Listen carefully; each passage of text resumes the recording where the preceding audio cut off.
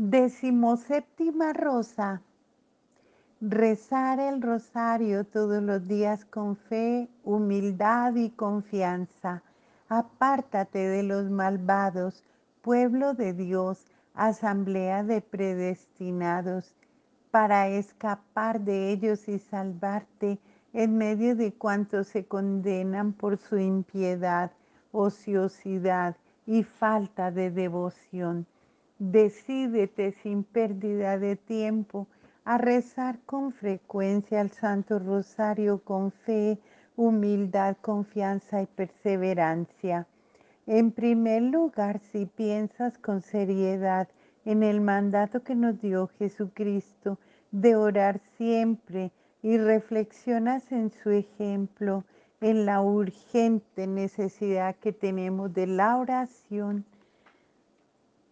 a causa de nuestras tinieblas, ignorancia y debilidad y de la multitud de enemigos que nos persiguen, no te contentarás con rezar el rosario una vez al año, como lo exige la cofradía del Rosario Perpetuo, ni una vez a la semana, como lo prescribe la del Rosario Ordinario, sino que lo recitarás puntualmente todos los días, como lo pide la del rosario cotidiano, aunque no tengas otra obligación que la de salvarte.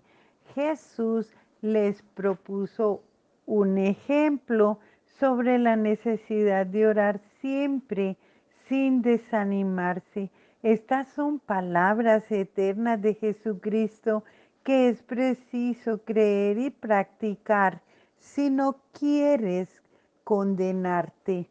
Explícalas como quieras, pero no a la moda, para que no las vivas a la moda.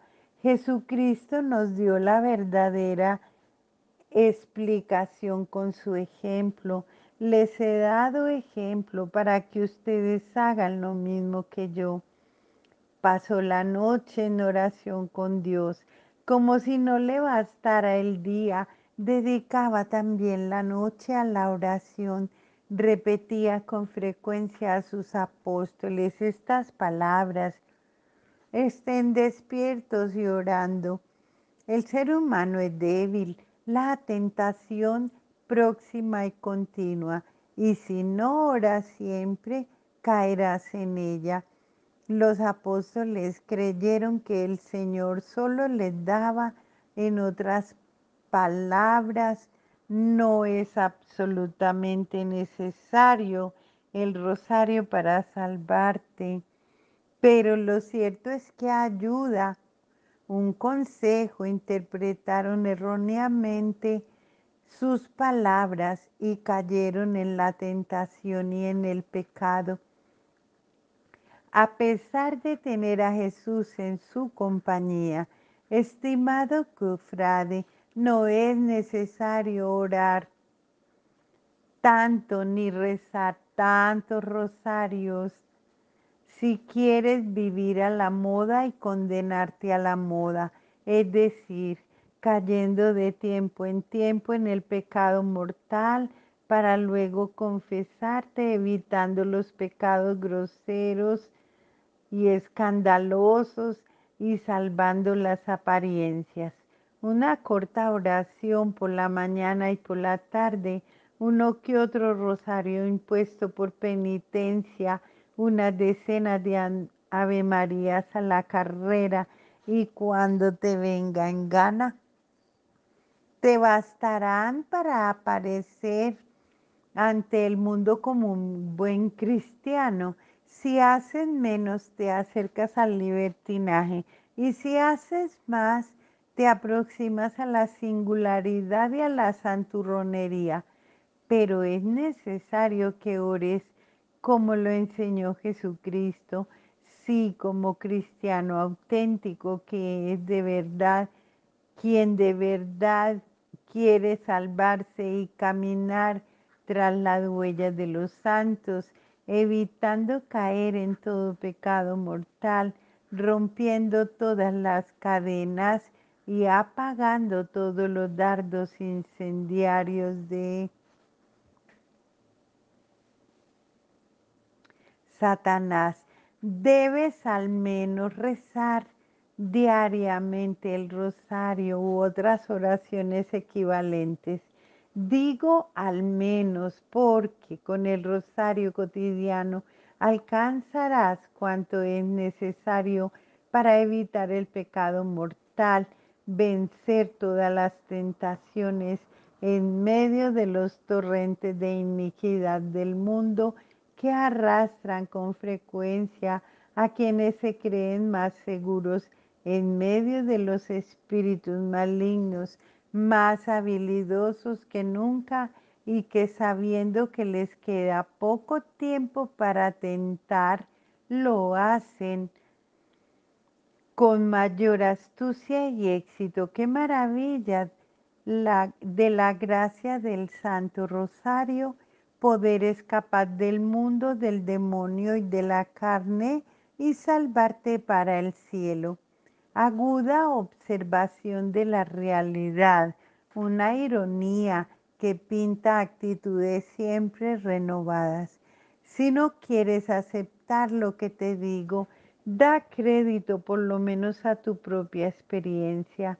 Respóndeme, ¿eras acaso capaz de evitar ciertos pecados graves que solo tu ceguera te hacía ver como insignificantes cuando te contentabas con esas cortas oraciones hechas como las hace el cristiano mediocre.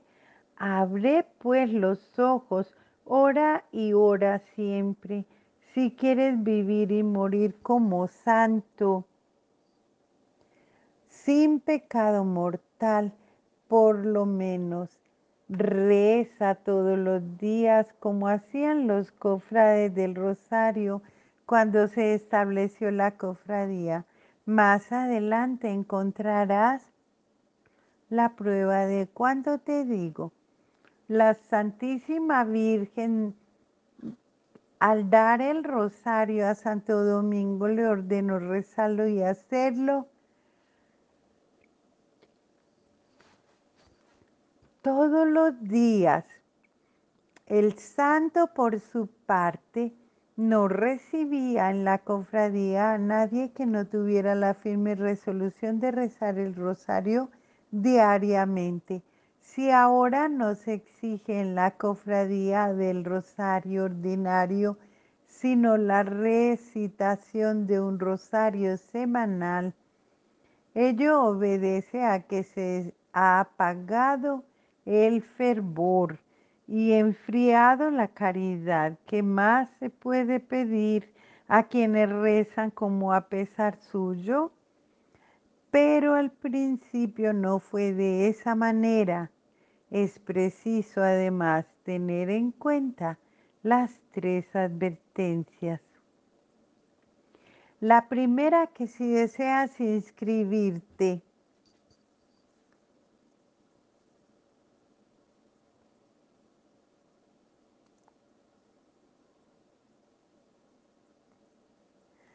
si deseas inscribirte en la cofradía del Rosario cotidiano y participar en las oraciones y méritos de quienes están en ella. No basta con que te inscribas en la cofradía ni que tomes simplemente la resolución de rezar el rosario todos los días. Tienes que dar tu nombre a quien han sido autorizados para inscribirte en ella será conveniente que te confieses y comulgues en esta circunstancia.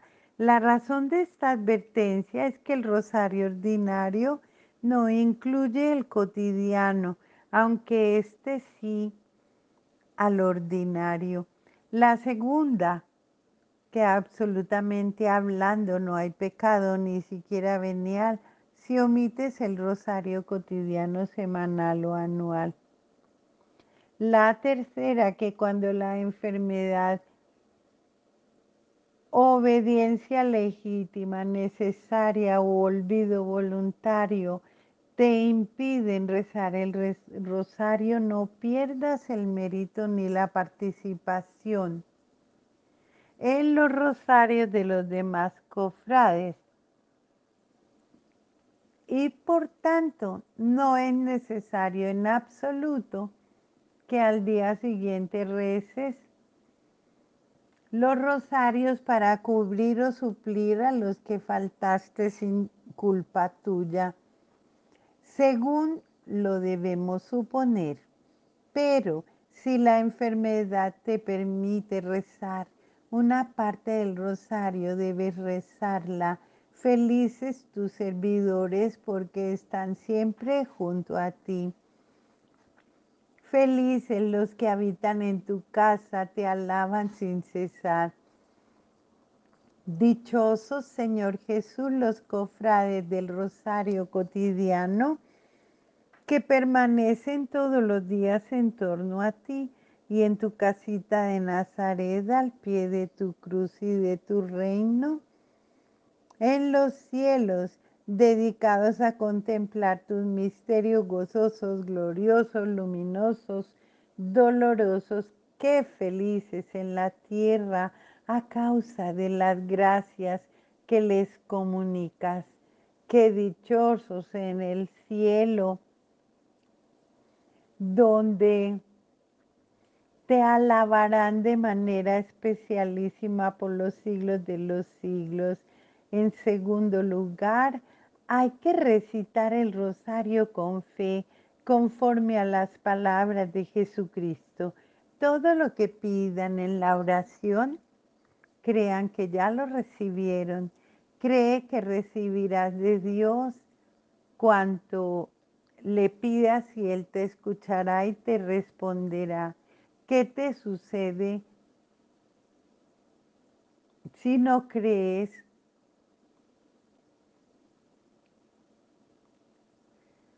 hay que pensar que te suceda como creíste.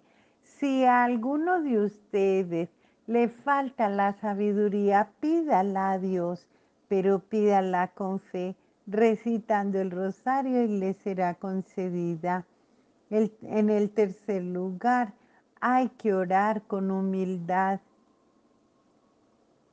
como el publicano que estaba de rodillas en tierra y no con una rodilla en el aire o sobre un banco como hacen los orgullosos, se quedó a la entrada sin atreverse a llegar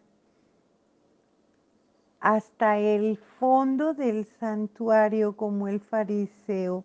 Tenía los ojos clavados en el suelo sin atreverse a levantarlos al cielo, sin levantar la cabeza ni mirando acá y allá, como el fariseo, golpeándose el pecho, confesándose pecador, implorando perdón, ten piedad de mí que soy un pobre pecador, y no como el fariseo que se vanagloriaba de sus buenas obras y despreciaron a, las de, a, las de, a los demás. Evita la orgullosa oración del fariseo que volvió a su casa más endurecido y maldito. Imita más bien la humildad del publicano en su oración que la, le obtuvo el perdón de los pecados. Evita correr en busca de lo extraordinario y pedir siquiera desear conocimientos excepcionales, visiones, revelaciones y gracias extraordinarias que Dios comunica a veces a algunos santos durante la recitación del, rosario. La fe sola es suficiente ahora que el Evangelio y todas las devociones y prácticas de la piedad se hayan suficientemente establecidas. No omitas nunca la menor parte del rosario en las sequedades, desalientos y decaimientos interiores.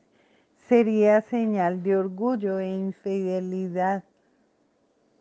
Como valiente campeón de Jesús y de María, recita el rosario, el Padre Nuestro y el Ave María en medio de la aridez, aunque sin ver, sentir ni gustar,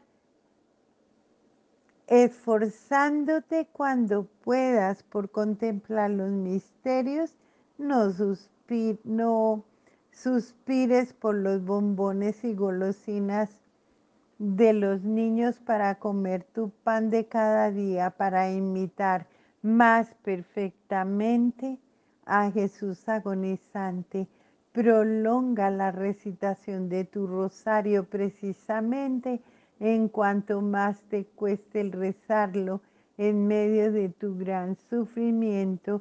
Jesús oraba más interiormente. Así podrá aplicarse a tu caso lo que se ha dicho de Jesucristo, quien cuando lo estaba, estaba en agonía, oraba más largamente. En cuarto lugar, ora con total confianza, con una confianza fundada en la bondad y generosidad infinita de Dios y en las promesas de Jesucristo. Dios es fuente de agua viva que corre incesantemente en el corazón de los que oran. Jesús es como el pecho del Padre eterno, lleno de gracia y de verdad.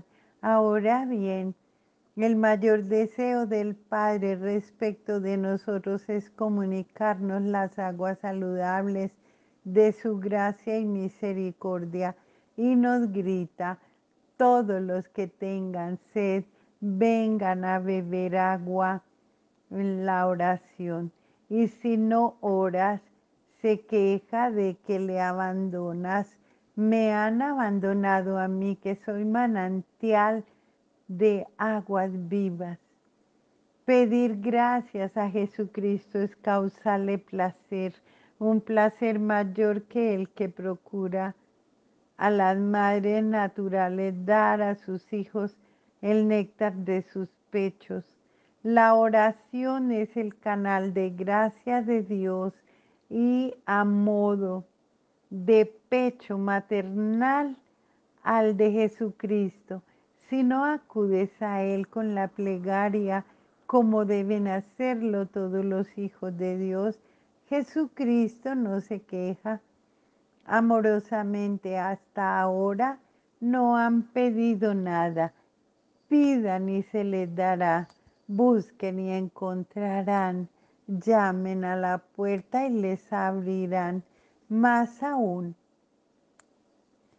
para animarnos a pedirle con mayor confianza, llega a empeñar su palabra de que el Eterno Padre les, nos concederá cuanto le pidamos en su nombre.